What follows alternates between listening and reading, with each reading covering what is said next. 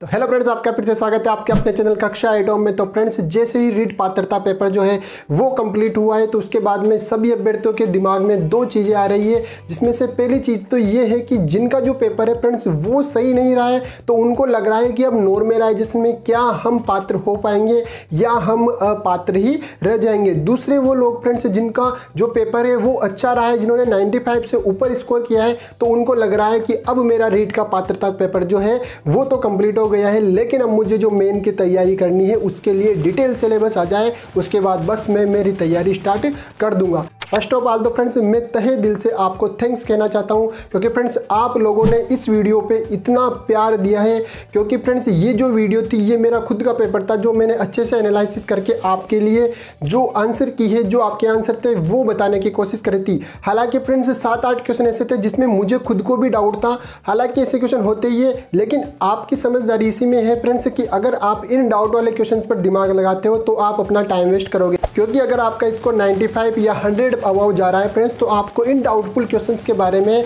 Time waste नहीं करना चाहिए। लेकिन मैं आपसे साथ में यही कहूँगा कि अगर आपका स्कोर जो आपका पासिंग मार्क्स है, उसके दो तीन मार्क्स ऊपर नीचे है तो हाँ आपको इन क्वेश्चंस को अच्छे से एनालिसिस करना चाहिए कि वाकई में इसका सही आंसर क्या होगा? तो पहली बात करते हैं फ्रेंड्स कि अगर आपका पेपर जो है वो सही नहीं रहा है, उसका कुछ भी कारण हो सकता है फ्रेंड्स, या तो आपने ओएमआर में गलती कर दी हो, या आपको जो एग्ज़ाम का जो प्रेशर था, उसकी वजह से आपका एग्ज़ाम में थोड़ा ऊपर नीचे हो गया हो, या जो कठिनता का स्तर था, वो आपके पेपर का थोड़ा ज़्यादा आया हो तो ये कुछ कारण हो सकते हैं फ्रेंड्स, आपका पेपर अच्छा नहीं होने का। लेकिन फ्रेंड्स, अब सबको ऐसा लग रहा है कि अब उन सबको वेट है कि जैसे ही नॉर्मलाइजेशन वाली प्रोसेस अगर होती है तो उसके बाद में हमारा स्कोर बढ़ेगा या घटेगा। तो मैं आपको बता दूँ फ्रेंड्स कि अगर जो अपन बात करते हैं साइंस और मैथ वाले पेपर की तो आप सब भली बात ही परिचित होंगे फ्रेंड्स कि साइंस और मैथ का जो तीनों शिफ्टों में जो पेपर हुआ था लेवल टू का, उसमें बहुत ही कम डिफरेंस था मतलब तीनों शिफ्टों में बहुत कम डिफरेंस था, जिससे कि हम मान सकते हैं ओनली साइकोलॉजी के अलावा।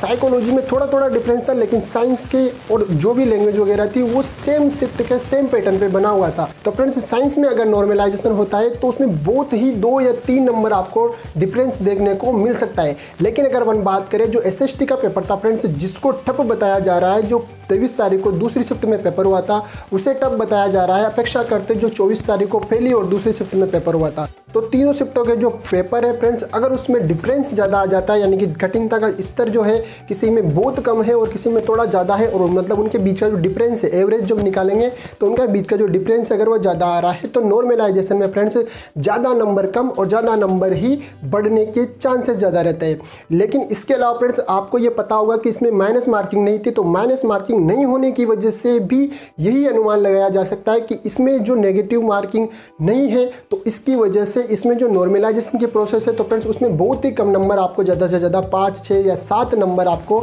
इसमें ऊपर नीचे देखने को मिलेंगे फ्रेंड्स तो फ्रेंड्स अगर पासिंग मार्क्स से आपका जो स्कोर है, वो चार या पाँच नंबर कम है तो मैं आपको यही सलाह देना चाहूँगा कि आप सेकेंड ग्रेड जिसके अभी चार मंथ बाकी है फ्रेंड्स आप उसकी प्रिपरेशन अच्छे से कर सकते हो. उसके अलावा अगर आपको सेकेंड ग्रेड नहीं भी करना है तो उसके बाद भी बहुत सी वैकेंसी जैसे एल वगैरह आएगी तो आप उसकी तैयारी कर सकते हो. और जिन लोगों का जो स्कोर है, वो पासिंग मार्क्स से दो तीन नंबर ज़्यादा है, ज़्यादा नहीं है ओनली एक या दो नंबर ज़्यादा हो रहा है तो उन्हें भी थोड़ा सा डर है कि हमारा नॉर्मलाइजेशन में कम ना हो जाए, हम अपात्र ना हो जाए। तो फ्रेंड्स मैं उन लोगों को भी यही सलाह देना चाहूँगा कि आप जो आगे की जो वैकेंसी है, उस पर ज़्यादा फोकस रखिए। इस रीट के अलावा और कॉमन सब्जेक्ट पढ़िए जो आपके रीट मेन में भी हो और आपका अगर सेकंड ग्रेड की तैयारी कर रहे हो, जो दोनों में जो कॉमन है, आप वहाँ तक पढ़िए जहाँ तक कि आपकी जो पात्रता का रिज़ल्ट है फ्रेंड्स वो कन्फर्म नहीं हो जाए। आप पात्र है, इस चीज़ का पता नहीं लग जाए। जब इस चीज़ का पता लग जाता है कन्फर्म हो जाता है तो आप रीट पर फोकस करके ही इसी की तैयारी आगे जारी रख सकते हो। अब बात करते हैं फ्रेंड्स यदि आपका जो स्कोर है डाउटफुल क्वेश्चन को हटाने के बाद में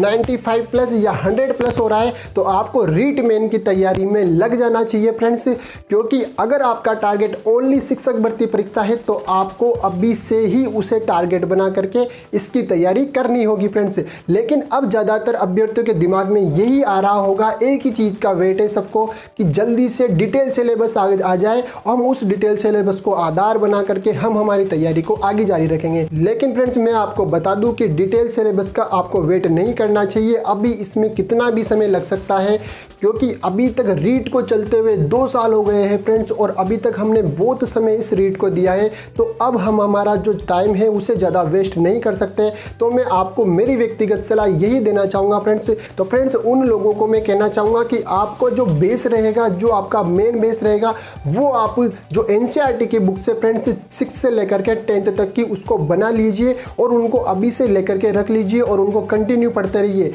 आप एन बुक से स्टार्ट कीजिए फ्रेंड्स, और एक टारगेट बना करके एकांत में जा करके अपनी जो जॉब है फ्रेंड्स उसको सुनिश्चित कीजिए। आप अपनी तैयारी को फ्रेंड्स इतना अच्छा कर लीजिए ताकि आपको बाद में ये एक्सक्यूज़ ना देना पड़े कि यार पेपर टफ आया था और पेपर डीप में से पूछ लिया मैंने तो ऊपर ऊपर से पढ़ा था। पेपर फ्रेंड्स बुक्स में से ही आएगा। अगर आपको यकीन नहीं हो तो आप ये 2021 का या अभी जो 2022 में पेपरों के निपटा है, वो जो दोनों पेपर है फ्रेंड्स ये इसका जो जीके वाला पार्ट है फ्रेंड्स ये बुक्स में से ही है। हालाँकि वो बात अलग है फ्रेंड्स की बुक्स पढ़ते सब है, लेकिन अपने माइंड में आप कितना स्टोर रखते हो, ये चीज़ ज़्यादा मायने रखती है। याद रखिए फ्रेंड्स की सफलता का कोई शॉर्टकट नहीं होता है तो आपको ज़्यादा से ज़्यादा जो टाइम है, वो सेल्फ स्टडी को देना है फ्रेंड्स ये हो सकता है कि आप एक या दो चैनल को फॉलो कर सकते हो। आप ज़्यादा इनमें यूट्यूब की जो वीडियोज़ वगैरह है, इनमें ज़्यादा ना उलझ करके आप अपनी एन बुक्स के साथ सेल्फ स्टडी पर ज़्यादा ध्यान दीजिए। बाहर की दुनिया में क्या चल रहा है, क्या नहीं चल रहा है, आप उस दुनिया से दूर रह करके आप अपने एक सिलेबस की दुनिया बना लीजिए फ्रेंड्स